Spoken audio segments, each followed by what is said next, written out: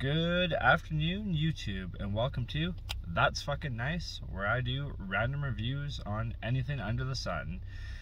Please like and subscribe if you like my videos, and if my language offends you and you're just all around a snowflake, please get the fuck out of here. Viewer discretion is advised. Yeah, I'll tell you. Anyways, let's start with what my buddy's giving me to try today. So I'm at one of my favorite places, Gold's Gym about about to do a big workout. And he said, I have a new pre-workout for you and I want you to review it. I said, okay, let's take a look. So he's giving me a couple samples in this thing. And I can already tell I'm not gonna like it. 50 servings, Muscle Prime. I did some research, it's like $20 for 50 servings. So you can already tell it's not gonna be good. And uh, I don't feel like reading what's in all this, but you can always look it up, see what you think. So let's go in for the review take off my awesome pit vipers and let's take a look what we're up against. He says you gotta dry scoop it too, don't mix it. So we'll see.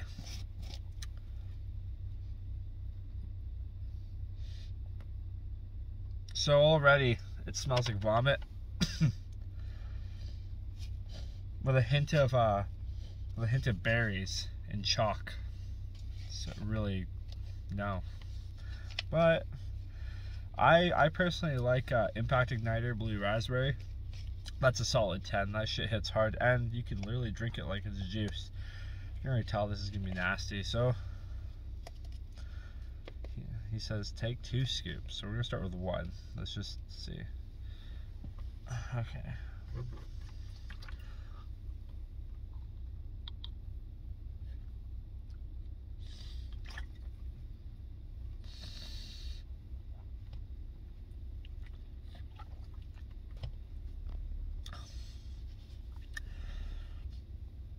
You know when you eat like uh pasta or something and or pizza and you do a cartwheel or fall down or something and or you bend down and like it wants to come back up uh, gross pukey taste that's what this is. That plus red bull. It's kind of like a mix. Let's go on for the second review. Hey round two can't be as, as bad as round one right Bombs up. Okay. Mm, mm, mm.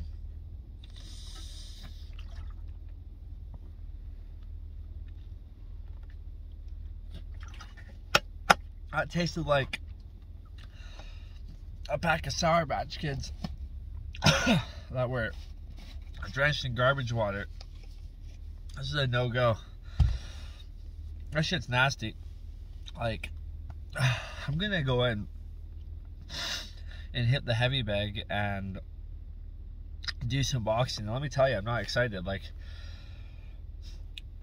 I mean, I can't really give a review on its effects yet. I could do that later. I, I don't fucking know. Um, shit's nasty.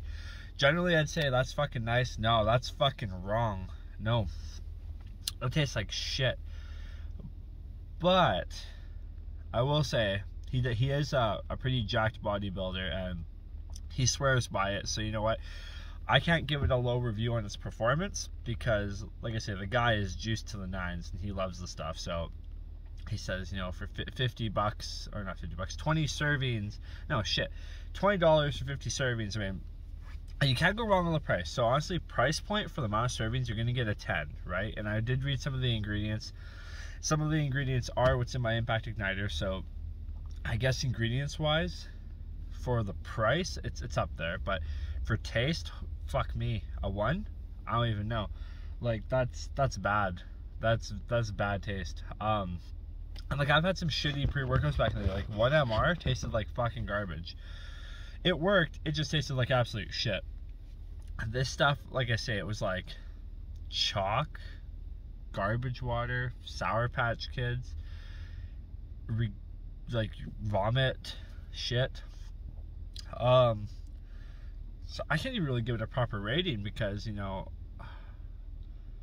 it performs well from what I understand after you wait like the 20 30 minutes to let it kind of work its way into your system but yeah, I'm just gonna give this review based on flavor, flavor and affordability. So let's combine the both, right? Let's give it a six because for the affordability, good flavor, shit. Maybe if the flavor was good and it was affordable, I could give it a higher rating.